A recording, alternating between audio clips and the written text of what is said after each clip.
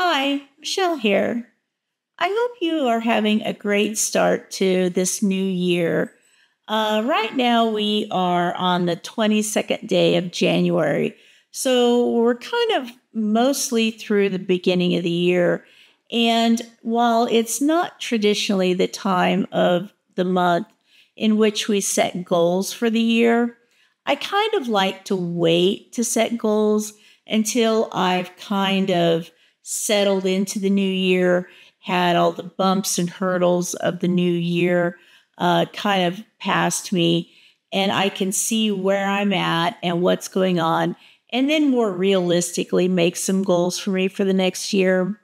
So, what I've done is I've made some plant goals for me for the year 2024, and I thought I would just share them real quickly with you.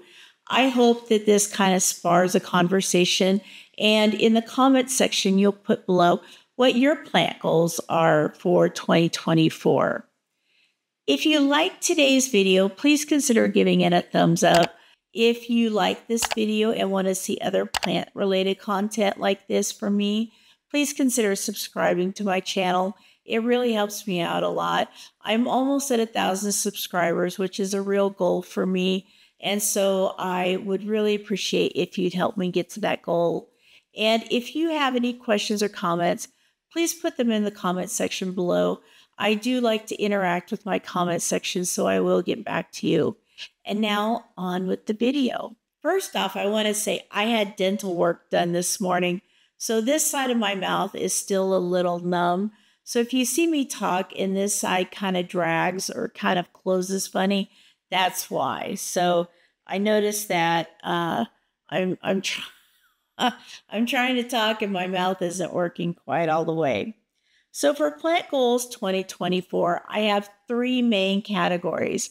I have plant maintenance goals, YouTube goals, and plant acquisition goals. So, these are kind of three different categories. The categories that I feel that, that encompass the most of what I do with my plants.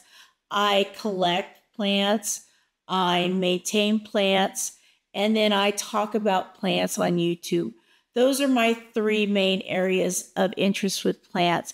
And so I wanted to have goals for each of those. And then after that is my YouTube growth goals because I do have this little tiny YouTube channel that I am doing for me for a therapeutic uh, stress relief, uh, brain interactive tool. But I would also like to grow the channel. Um, I would like to, you know, see what I say get out to a broader audience so that uh, I can get more feedback and get more interaction and get more talking about plants.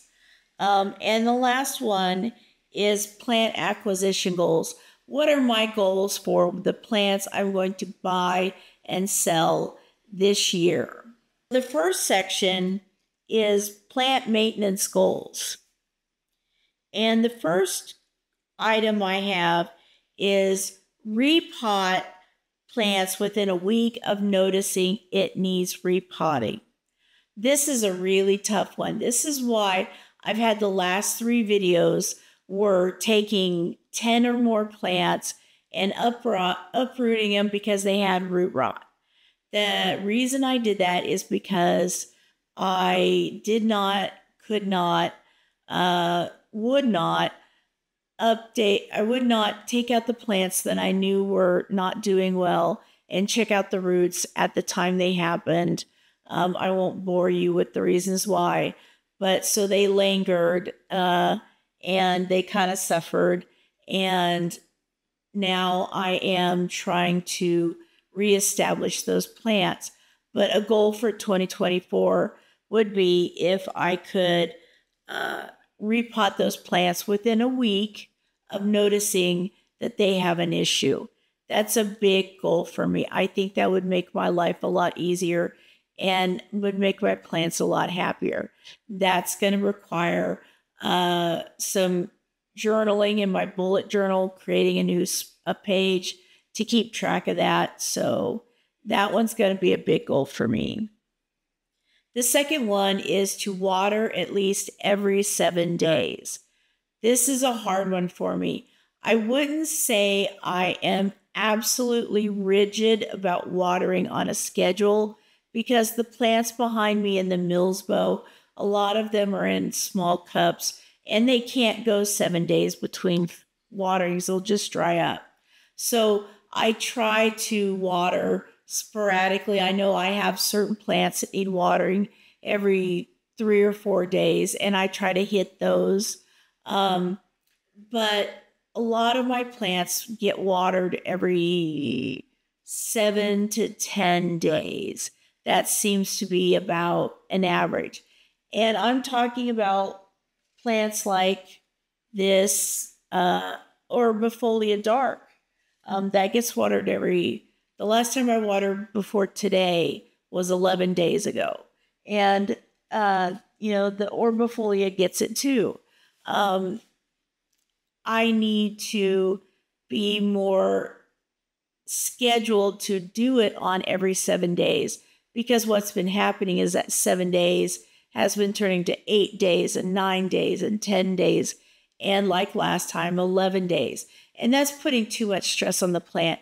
I haven't had any plants die uh, or have major issues because of it, but I have had plants that have issues. And that's something that's a goal that I would really like to work on.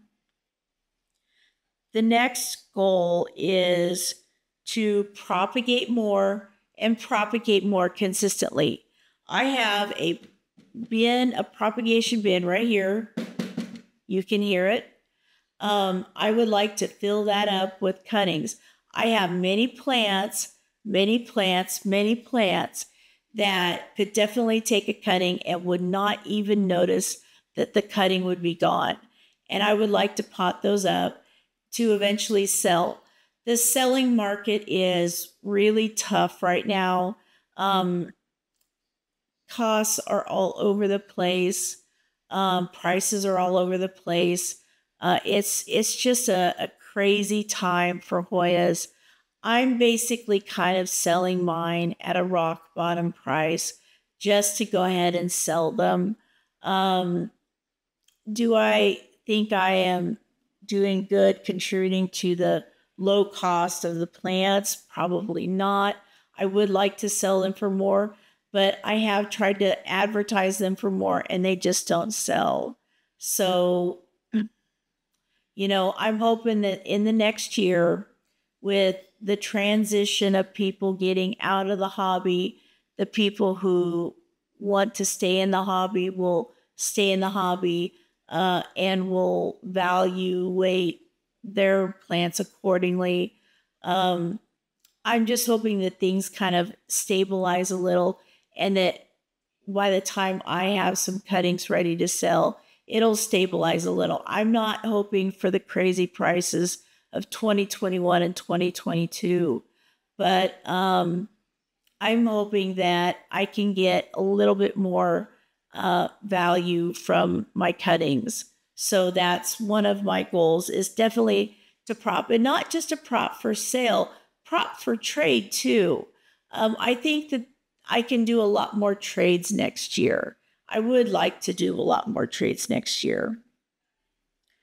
The next item is one that you're going to see hopefully soon in the next video after this, and that is to reorganize my Milsbo cabinet at least once every quarter. Um, and that also takes turns with the details on either side. Um, this cabinet is just an overgrown mess. It really is. I've moved like six plants out of there so far um, to various homes that are not really homes so far. I moved my sunrise out. I moved my my um what the hell is that?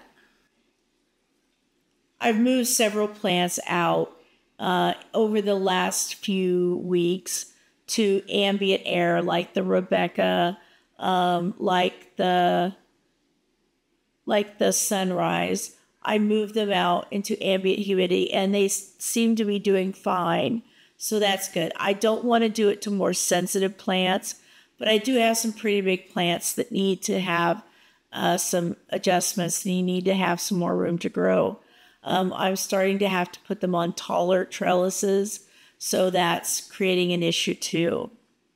Rearranging once every three months is more of a practical thing than a decoration thing. I need to find places for them to fit. I need to find places for them to thrive because not all of them are going to be thriving shoved in here like they are now. And the last one for plant maintenance goals is to take a nice photograph of my plants at least once every six months. And by what I mean by nice plant, nice pictures is I'll show one up here. This is a nice picture. This is a picture taken in a light box I have with my camera I'm filming on now. Um, it just takes really crisp, high quality pictures. The plants look great. Um, I would like to do this at least once every quarter. The pictures I have been taking are nice, they do the job, but they don't represent the plant in the best way. And I figure if I'm going to be taking a picture that I'm going to be using for posterity, it might as well be a uh, striking photo that really shows off the plant. So that's from another one of my goals, my last goal. Now we're on to my YouTube goals. These are goals specific to my channel, to recording and editing my channel, my videos on my channel. And the first one is to post five videos a month. I am not sure if I can post five videos a month. Uh, I have been doing fairly good about posting three to four videos a month. So, five videos will definitely kick it up a notch for me. Um, I have tried to stay uh, fairly regular in my schedule. I am not on a work schedule schedule, um, but I try to work on my uh, videos every day. I try to plan what I'm going to do with my videos. Uh, that's all going to come in for the new year when I'm going to try to make at least five videos a month. So that's one a week and then one extra to pop in here and there. Maybe it'll be a short, uh, maybe it'll be just something filmed quick. I'm not for sure yet, but I'm going to try and insert a fifth one my next one is to get to a thousand subscribers. That is my goal. I've been talking about that since I started my channel. And you know that that is a big goal. And uh, I am almost there. I would like to do a plant giveaway. Um, it's cold right now, and I don't trust shipping, but I would like to do a plant giveaway when things get warm. Maybe due to maybe the speed of my channel will be so much that I can do a 1500 subscribers giveaway. Um, that would be really awesome. But I'm planning in the spring to do a plant giveaway to really uh, ramp up my social media presence, my Instagram, my Instagram presence, and do a giveaway uh, of one of my plants or maybe a terrarium that I'm making you know, just something like that. Uh, just a, a nice little giveaway. This is something it's it's a goal of mine. I don't know how much I'll achieve it, but it's a want of mine, and that would be to do a collaboration with another plant YouTuber. Um, I'm not for sure how how much that could really be possible. I have never reached out to any other YouTubers and asked this, but I would really love to do some sort of co- collaboration video. Um, that would be my dream. I'm hoping that maybe once I get a little bit more stable on my channel and start start posting more videos and they get more views and I get more of an audience, my subscriber count goes up, maybe I'll be more attractive to other other plant plant YouTubers and they'll want to agree to do some sort of, uh, you know, some sort of group video with me, a collaboration.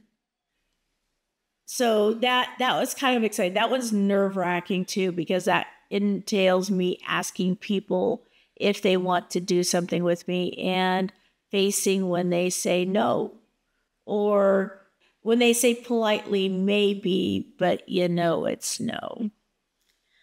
The next kind of YouTube ones are more technical. And what I would like is I would like to have a, a video of mine reach 5,000 hits in the first 30 days. I would like to make a video that is so good that it far exceeds any of the other videos I've put out so far.